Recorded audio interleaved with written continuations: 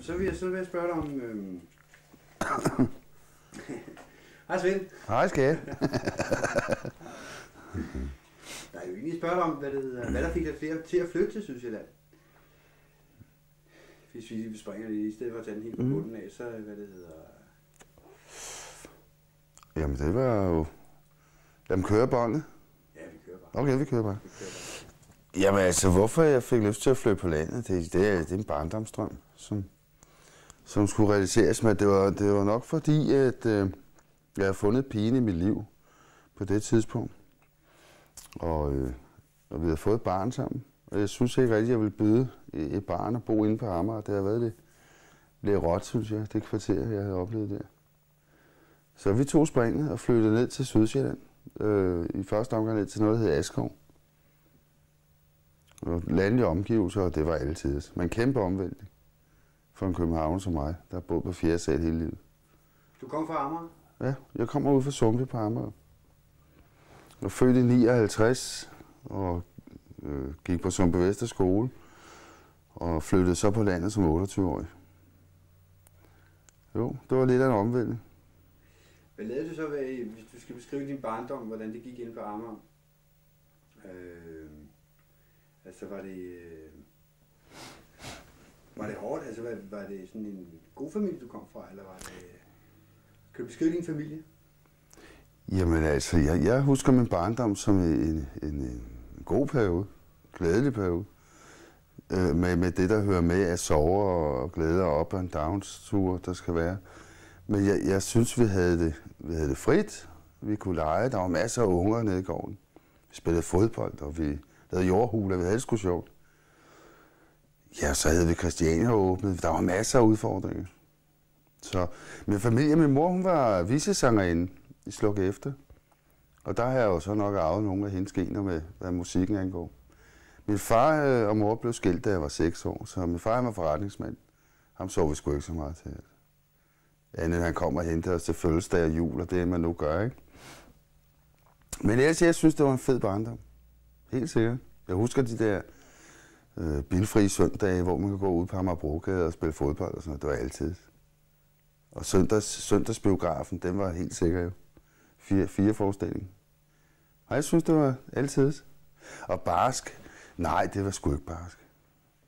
Det ved jeg ikke. Jeg har ikke, jeg har ikke tænkt over det. Når man er i det, så tænker man ikke over det. Det første, jeg blev voksen, at jeg kunne se, hvor råt det egentlig har været. Der var mange, jeg har mistet med gode venner, der er faldet fra af misbrug og øh, af det ene og det andet. Ikke? Hvornår, øh, hvornår startede du egentlig på at spille musik? Jamen det, hold da op. Jeg kan huske, at min storebror engang havde hugget en guitar i, en gammel øh, Maskendeser-butik og hængt den op inde på hans væg. Når så han gik i skole, læste jeg ind igennem klædeskabet. Vi havde sådan delt vores værelse med klædeskab. Og så ind og, og hive hans guitar ned, og så sad jeg og øvede. Og på et tidspunkt opdagede han det ved, at han øh, gav mig lov til at prøve den her guitar. Og så kunne jeg jo spille på den. Og jeg tror, jeg har været en 10-11 år. Og så er det, så er det kommet slag og slag. Og jeg, jeg havde min debut ude. Ja, det var i 76. Så det er snart 24 år siden. Wow, så er det snart 25 års jubilæum.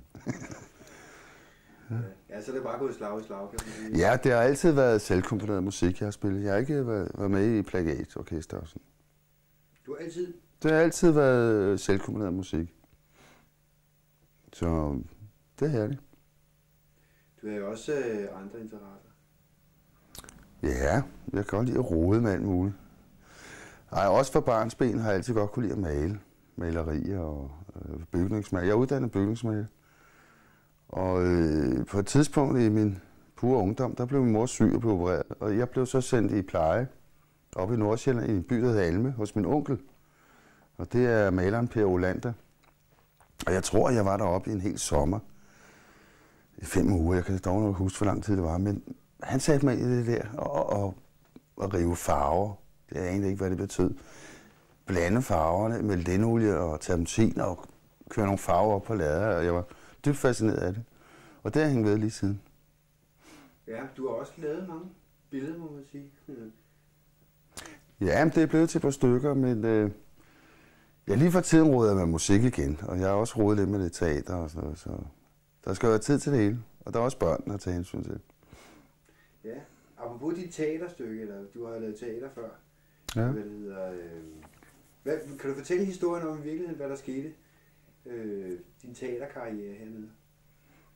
Ja, altså inspirationen kommer nok helt tilbage i min ungdom, hvor øh, jeg ved mere eller mindre tilfælde kom med i en ungdomsfilm, der hed Lad os være. Det var de, den første film af de der, øh, vil du se med smukke navle, og måske øh, Du er ikke alene af de der, ikke? Det var helt tilbage i 74. Der kom jeg med i den der. Og så efter det øh, var vi en gruppe, der holdt sammen og lavede nogle ungdomsteater, vi turnerede rundt i, i, i landet med. Så der kommer interessen fra. Da jeg så flyttede på landet, så så jeg noget byspil nede i Præstø, og blev dybt fascineret af det, og, og fik lyst til selv at rode med sådan noget igen, og de skrå fra det der. Og så, øh, så mødte jeg op til et stormøde og, så- og rakte fingrene op, og jeg også lave et stykke og sådan noget, og det, det måtte jeg godt. Men til at starte med ville jeg bare skrive et stykke. Det var for at, at prøve det der, om jeg kunne skrive et teaterstykke eller en roman. Jeg har altid haft en drøm om at være forfatter. Det går vi alle sammen med en lille drøm om et eller andet sted. Så skrev jeg sgu det her stykke, og det endte så med at blive en musical med 13 nye sange, og med øh, omkring øh, 33 medvirkende og stort orkester. Og, og- det, det gik sådan ok. Så det var lidt af en opfordring. Hvad var det titlen? Hvad var det? Det hed Rudolf og Emil, hvor er kærlighedsdrama. Var det en succes? Ja, det synes jeg. Jeg synes, det var øh, altid. Det var amatører, jeg havde med at gøre. Og øh, hele byen øh, bakkede os op, og forretningslivet, og vi fik endda lidt hjælp udefra også. Ole Ernst støttede os med at indtale nogle rolle for os. Så jo, jeg synes, det var altid. Det er sgu ikke sidste gang, at jeg gør det. Jeg er i gang med et par andre stykker, der ligger klar i ovnen, så jo. Du skriver altså på nogle nye stykker. Ja, det, det gør jeg. Jeg kan ikke lade være. Ja. Nå, okay. Hvad, hvad, hvad, hvad skal dit næste stykke så handle om? Ja, men det bliver ren crazy komedie. Øh, det er kaldt for Café Bombeløb og, og foregår inde i... Øh, det foregår inde i, øh, i minefeltet inde i København. Det tidligere minefeltet. På en gammel snuske øh, kaffebar. Og øh, det er lige før øh, øh, befrielsen. Og nu vil jeg ikke røve for meget, men det er sådan en crazy komedie, hvor de bytter alle mulige ting med grænkogler for noget linolie og noget du kunne jo ikke få kaffe, så du fik nogle riksmærker og sådan og sådan. Jeg lige prøve at tage den igen. Det foregår i en minefelt. Kan du forklare, hvad minefeltet er? Hvis du Ja. tager den igen, Ja. så lige sige minefeltet, altså inde i Indre By. Eller Okay. er, sådan. Øh, Okay. ja, hvis vi bare siger, så starter vi bare igen på det samme spørgsmål. Ja. Du, du, Okay. øhm, du skriver på et nyt stykke, eller du jeg er næsten færdig med et nyt stykke, har du fortalt. Ikke? Ja. Øhm, ja. Ja, altså, jeg, jeg, jeg har skrevet et lille stykke her, som... Øh, jeg synes ikke, det skal være så... Jeg synes sgu, livet er for kort til at være kedeligt. Så jeg har skrevet en øh, crazy komedie, et gagag crazy komedie stykke, som er en indakter, med, med ganske få medvirkende. Men så får de flere roller. Det synes jeg kunne være sjovt, at man både kan være kvinde og gå ud og skifte på ryg og så ind igen. Og så kunne jeg godt tænke mig, at, at, øh, at der skal bruges så få rekvisitter og kulisser, at man kan tage rundt med det i, i, i en lille varevogn. Stykket er kaldt for Café Bombelym, og det foregår i en, øh, en øh, kaffebar under besættelsen inde i København i, i Minefeltet. Minefeltet er jo inde i, i den indre by, det kalder man det øh, under krigen. Området omkring øh, Gammeltorv og, og, og det område, og Kongens Nytorv. Og øh, der følger man så øh, dagligdagen øh, i, i København i de dage der. Og, og jeg får sige det meget kort, så handler det om at bytte sig frem til, til alt muligt. Og øh, rationeringskort og riksmærker og hvad man ellers skulle. Ja. Så det bliver en lille enakter. Men også med, med frække viser og, og sådan noget, havde jeg tænkt mig. Og du har selv skrevet det hele. Ja, jeg har komponeret og skrevet stykket. Det går sgu da meget godt, så. Ej, jeg, jeg virker stiv. Ja, men det går okay. Altså, jeg slapper ikke af. Vil du også stille lortelys der? Jeg vil lave lige en anden beskæring, men det, vi, vi kører da bare. Nej, nej, men altså, jamen det er bare, kender det, jeg kan ikke slappe af, når det der pisselys lige ind i krydderen. Ja.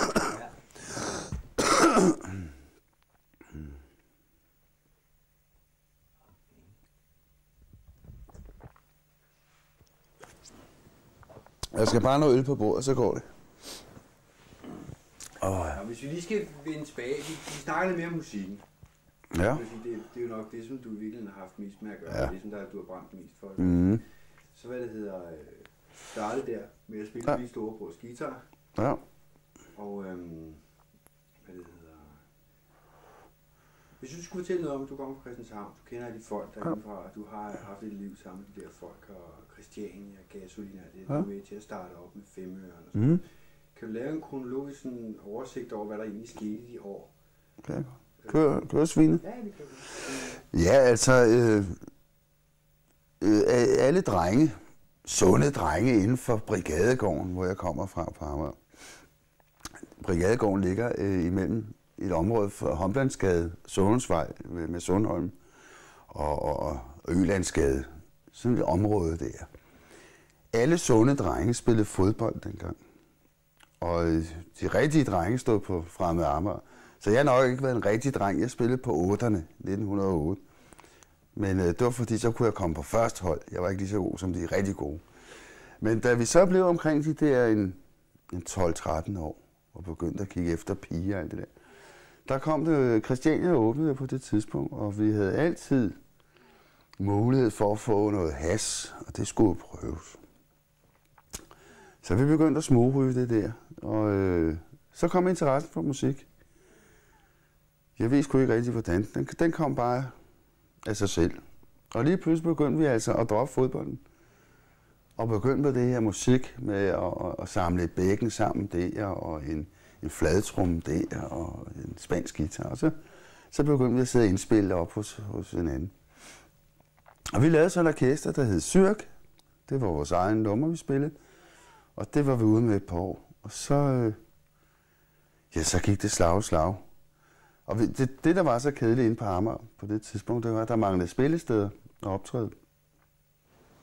Så på et tidspunkt involverede vi os med Klub 47, som er en øh, narkoafvendingsklub øh, ude på Amager. Og, og, og vi prøvede at finde nogle musiksteder, og på et tidspunkt finder vi ud af, at vi kunne låne Saltaders scene og køre den ud på Amager. Og så optræde derude øh, helt, øh, uden at annoncere eller noget, bare der er fest. Og det gjorde vi, og på den måde kom det, der i dag hedder Musikforening Femøren, op at stå. Og det var tilbage i 1978. Og det var vi med til at starte op. Vi var det, faktisk en af de første band, der spillede derude med øh, Confusion Orchestra og med Fred Fopp øh, og hans orkester. Og der har vel været 100 mennesker, men det, det ser jo anderledes ud i dag. Det kører jo meget fint for dem. Og så har jeg så spillet med forskellige band. Der har været, jeg kommer jo meget ud på Christianshavn, og kender de musikrødder derudefra. Og på et tidspunkt spillede jeg med Frans Beckerli. Og øh, ja, og så, så blev jeg kapret af band, der hed Tekst. Og det er nok det band, jeg havde mest succes med ude på Amager. Vi nåede at lave en plade, og, og øh, hvad hedder, det varmede op for Simple Minds i, i Falconer og det Pace Mode Saltet. Og så gik det slag slag. Og så gik bandet i opløsning, og jeg blev gift og flyttede på landet.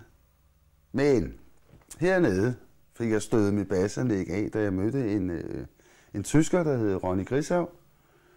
Det er vores sanger i dag, og vi har faktisk hængt sammen nu i, i 10 år i, i det band, vi kalder The Gang. Og så øh, er jeg gået i stå. okay, nå, så flytter jeg lige på ud. Kigger du herover. Ja, hvad fanden var det, vi kom fra? Nå, vi kan, vi kan tage den der fra 92, så du flyttede. Altså, øh, Ja. Tag den, tag den fra 1992. Du siger 1992, så flytter jeg så på land. Ja, det er i 92. Ja, det er sgu også, ja. Øhm, jeg skal lige have ved stemme her. Ja. Og det vil sige... Øh, altså, jeg starter fra 92. Ja. Hvordan, hvordan opretholdt du så musikken, da du flyttede? Altså, kan du fortælle derfra? Jamen altså, der sker det, uh, på det tidspunkt der i, i 92, der har jeg været, ja, jeg har været 28 år. Og, øh, og jeg havde et kæmpe behov for at etablere øh, familie. Øh, jeg har altid været tryghedsnarkoman, og jeg ved så ikke, om det skyldes det, det vilde liv inde på Amager, eller hvad det var, men jeg, jeg kunne godt tænke mig at, at, at få børn og, og settle down, som englænderne siger. Så jeg mødte en sød pige, hun blev gravid, og vi fandt så ud af, at, øh, at vi ville gerne flytte på landet sammen med, med, med den lille barn. Og øh, ja, så giver det sig selv, at, at musikken kom lidt i anden række. Og jeg startede så selvstændig malerfirma nede på landet.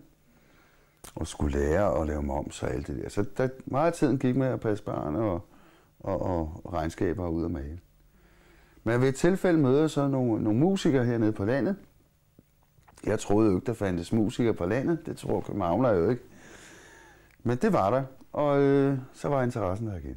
Så måtte jeg jo ned i min garage og støve bassanlægget i. Og, og, og det fungerede. Der skulle to nye sikringer, så kørte det igen. og så, øh, så væltede den der øh, voldsomme skriveløst op i mig igen. Så jeg fik lyst til at skrive sange og, og, og tekster. Og det er faktisk gået slag slag. Mm-hmm. Okay. Hvad, øh, hvad er så aktuelt nu? Hvad, hvad laver du så nu hernede?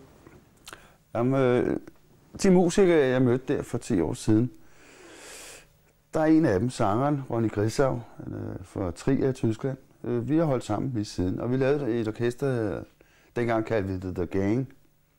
Sjakket, Rødderne, Banditterne, det må du selv om. Og, og det er så holdt indtil vi her for et par år siden mødte øh, Lasse Luffe nede fra Kalvehave og nogle andre rødder nede. Der er masser af musik nede i Kalvehave. Så synes vi, at The Gang, det holdt ikke mere. Øh, fordi jeg synes at alle skal have lov til at... Alle, der kan spille et eller andet, skal fandme øh, være med. Så vi fandt ud af, at det skulle hedde Corporation. Så nu hedder vi The Gang Corporation. Og har lige færdiggjort vores første øh, CD. Og, øh, og nu er vi helt vilde, for vi har fået etableret et studie over på Møn. Dejligt tæt på, hvor vi bor. Og øh, nu skal vi så i gang med nummer to. Og ud og spille on the road. Og det bliver bare fedt. Det vil sige, at øh, I bruger studiet som, som arbejds, øh, arbejdsbase, eller øh, hvordan gør du, når du selv arbejder med musik? Ja, altså... Øh, det, det foregår på den måde, at øh, det er som regel mig, der skriver øh, teksterne, og også øh, udlægget af, af musikken, og så, så kommer folk med deres idéer, og vi arrangerer sammen. Og, og, men, men det, det foregår hjemme. Og så nede i øvelokalet, eller studiet, der kommer folks idéer op, og, og, og kreativitet, og så indspiller vi det. Og øh, ja, det, det er sådan, det foregår. Men vi vil meget gerne have, øh, sidder der nogen hernede på landet, og brænder for musikken, så kontakt os. Kontakt mig, og øh, så kan de sgu altid komme ned og deltage i et nummer og være solist eller et eller andet. Derfor hedder det The Gang Corporation. Det er fedt. Mm. Du råder meget med computer. Jamen, det er helt nyt for mig. Altså her for 4-5 år siden fik jeg min første computer. Og det havde jeg aldrig drømt om, at jeg skulle rode med computer. Øh, altså, mig og teknik, det holder slet ikke. Men jeg er blevet totalt skudt i det og bidt i det. For det første synes jeg, at det er et fantastisk værktøj, når man sidder og skriver et manuskript. Altså, det er et godt læringsværktøj. Jeg kan gemme mine øh, malerier, så tager jeg billede af og gemmer mine manuskripter, mine sange, min, det kan skrive noder ud. Og så kan den noget helt genialt. Jeg kan sidde og komponere på det og lægge stemmer på og, øh, og fremføre idéerne for, for, for rødderne i bandet. Så ja, og så kan jeg også godt lide at spille et spil om natten. Jo. Jeg er blevet com- computer freak, tror jeg nok. Computernørd? ja, og nørd. ja. ja. Ja, fordi jeg tænker på, at vi skal op og se på din, øh, din computer, altså hvordan du komponerer på den. Ja, det synes jeg, vi skal gøre. Mm.